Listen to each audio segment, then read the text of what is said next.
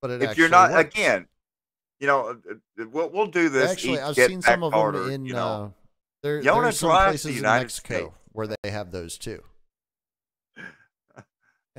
Um, but you know, it, it, like you said, it's not just Texas. It's kind of a Western interstate type thing because you don't. You yeah, they don't. No, there, there's nothing like that on I eighty one or I No.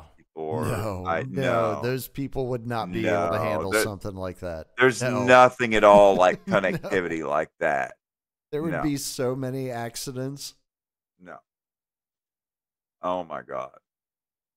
But yeah, so you know, um this is a good little segment to throw in each one of these shows, you know. As we go around the map of the United States, the um traffic and highway idiosyncrasies of America.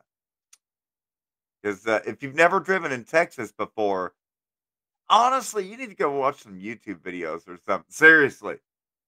Yeah. Fucking prepare yourself. Do your fucking homework. Don't just hop on the freeway, hit that fucking welcome center